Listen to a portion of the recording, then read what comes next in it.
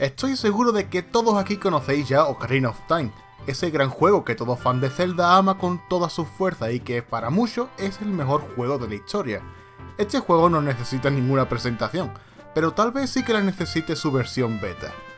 Una versión que pasó por muchas etapas muy interesantes y que acabó cautivando a gran parte de los fans de esta entrega. Se trata de una gran historia, así que empecemos hablando de Zelda 64. Nos remontamos en 1995. Nintendo presenta un nuevo videojuego de la saga Zelda, llamado Zelda 64. Nos muestran un pequeño vídeo donde Link lucha contra un enemigo de aspecto metalizado. El vídeo es corto y jodidamente raro, pero el concepto queda muy claro. Nintendo prepara un Zelda en tres dimensiones. Más tarde se dio a conocer un nuevo dispositivo para Nintendo 64, llamado 64DD, un sistema de expansión de memoria que también leía discos magnéticos, grababa en ellos y podía agregar contenido al juego. El objetivo de este aparato era aumentar en gran medida la capacidad de memoria de varios juegos, ya que la tecnología de los cartuchos en aquel momento era muy limitada. Y Zelda 64 presumía de contar con su propio sistema de expansión, lo que daba a pensar que el nuevo juego de Zelda sería sorprendentemente grande. Un año después de la primera presentación, el equipo de Zelda empezó a usar el motor gráfico de Mario 64 para hacer una pequeña demostración de cómo avanzaba el proyecto. Esta pequeña demostración se desarrollaba en una mazmorra donde Link luchaba contra enemigos hasta encontrar la Trifuerza dentro de un cofre. Curiosamente, este lugar era una réplica de la primera mazmorra del Zelda original de NES, y como solo se usó para hacer una pequeña demostración técnica de cómo sería un Zelda en tres dimensiones, esta mazmorra nunca vio la luz en la versión original.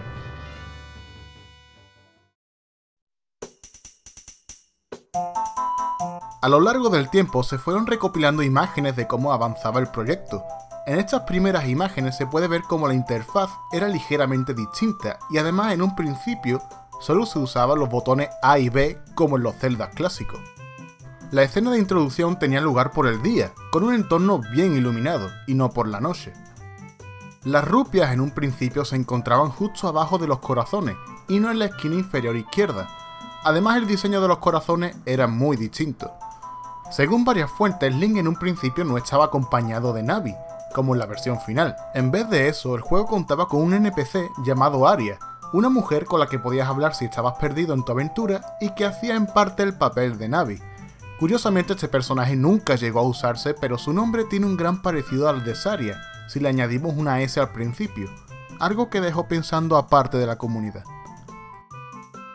El diseño de Link estaba basado en el traje original. La túnica llegaba hasta los hombros, los brazos de la camiseta eran marrones, no tenía guantes y su pelo era castaño. También usaba un escudo completamente distinto al que tenemos en la versión final, además de su espada Kokiri, que también tenía un modelo e imagen diferente. La ciudad del castillo de Hyrule iba a ser una ciudad realmente grande, llena de vida y completamente explorable.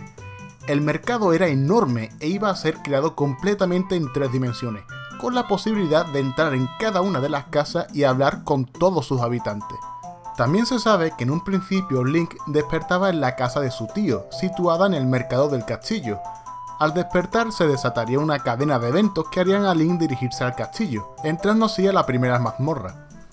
El bosque perdido no era el laberinto que conocemos, sino un bosque enorme rodeado de niebla con la intención de perder al jugador dentro de él. Además se ve que el arco debía usarse pulsando los dos botones A y B. La única explicación que se le dio a esto es que el arco necesitaba dos manos para usarse. Y si os estáis preguntando qué es esa cosa que también sale en la imagen, os diré que es un diseño muy temprano de un Poe, que no tiene nada que ver. La caverna de Dodongo también sufrió grandes cambios y en ciertas mazmorras podemos ver a los clásicos Octoroks con un diseño muy parecido a los originales de NES. También podemos ver los World con una apariencia muy distinta a la final. Y lo mismo con las arañitas llamadas Tectite. El árbol Deku era algo diferente y tenía la nariz rojiza. El primer diseño del Templo del Tiempo no tenía nada que ver con el original. Este era mucho más pequeño y aburrido, y no tenía nada de épico. En el trailer del juego aparecía el Gran Hada con un aspecto muy diferente al Hada que se acabó diseñando. También aparece una fuente con unicornios, algo interesante pero se desconoce su uso. Parece ser que en un principio los medallones se podían equipar, probablemente se podían utilizar pero no se sabe mucho más. Link además tenía entonces un ataque llamado Beam Attack, cargaba su espada durante un tiempo para luego hacer un impacto directo. También parece que había un nuevo tipo de bombas con varios colores, del que también se desconoce su efecto. Navi en un momento de su desarrollo tenía un color rojizo. Impa era ligeramente diferente y su caballo tenía un pelaje rojizo y no grisáceo. En una de las escenas originales, Shake le enseña el Requiem del espíritu a Link, y luego desaparece en una tormenta de arena sin dejar ningún rastro.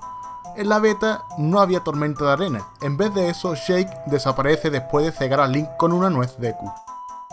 Además Shake tenía los ojos azules, y no rojos como ahora. Se dice que este cambio fue debido a que querían diferenciarlo mucho más de Zelda. Entre otras presentaciones, Miyamoto habló de las grandes novedades que incluiría este juego, decía estar orgulloso de haber implementado un reloj interno con el que conseguían recrear cambios climáticos, además de un sistema día-noche a tiempo real.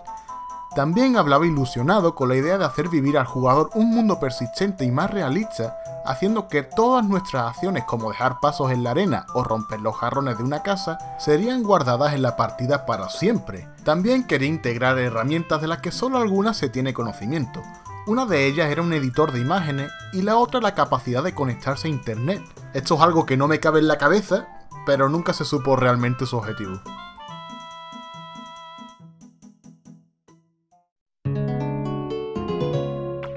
Zelda 64 tenía todas las papeletas para convertirse en un juego revolucionario, pero con el tiempo ocurrió algo con lo que Miyamoto no contaba. El 64DD acabó siendo un completo fracaso en Japón los desarrolladores no mostraban interés por el dispositivo. Más allá de sus pobres ventas, todos los demás dispositivos que se acabaron sacando para la consola también fueron un fracaso. Y para más Inri, Nintendo 64 estaba sufriendo bajas ventas, y no era el mejor momento para arriesgarse con el ambicioso Zelda 64, lo que hizo al equipo de Miyamoto replantearse el proyecto.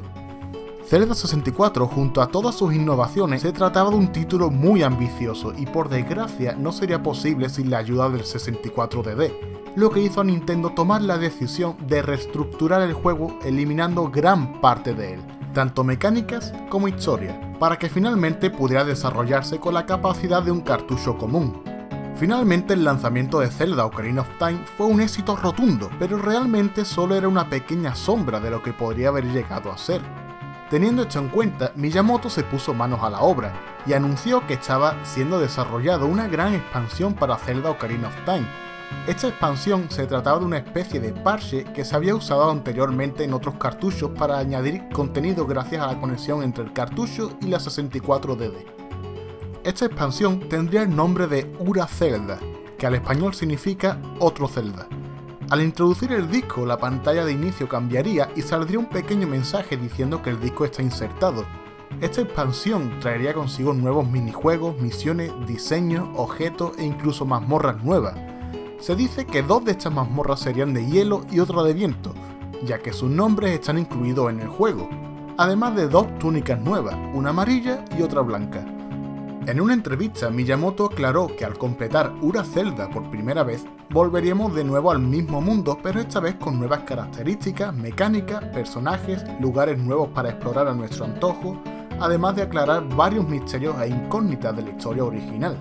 Pero una vez más, después de varios retrasos y problemas con la 64DD, la idea se acabó desechando completamente, aun teniendo el juego prácticamente terminado así que poco se sabe sobre Ura Zelda.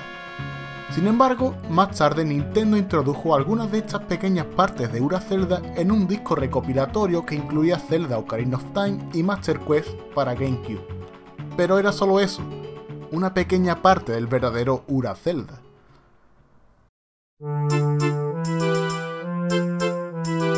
Varios años más tarde, un grupo de aficionados intentó recrear lo que habría sido Ura Zelda, el proyecto avanzó a buen ritmo y más tarde el proyecto se hizo más y más ambicioso, hasta el punto en el que quisieron hacer algo más grande que Ura, donde hubiera una nueva historia, personajes jugables, escenarios, etc.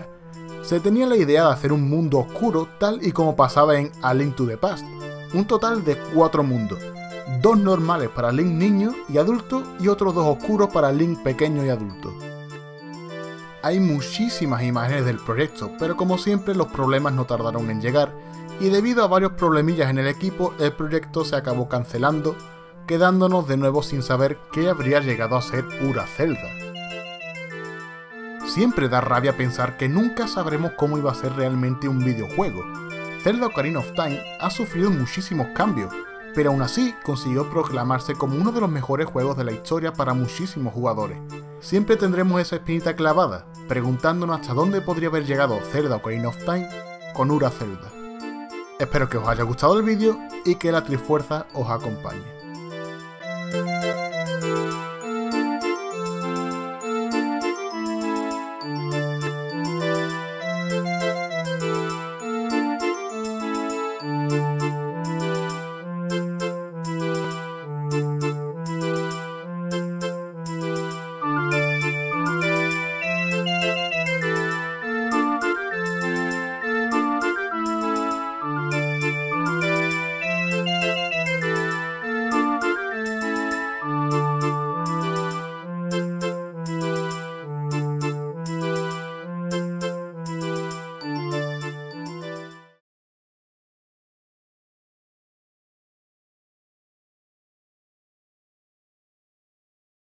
Stop looking at yourself.